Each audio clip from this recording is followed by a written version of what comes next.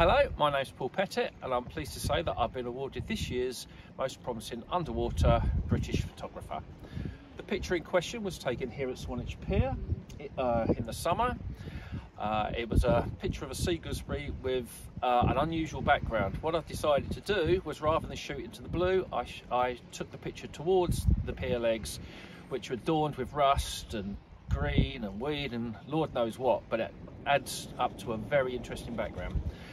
Very lucky, again, we, we dive here, we only live across the road there, uh, so we get to visit the pier as often as we like, which is usually every week.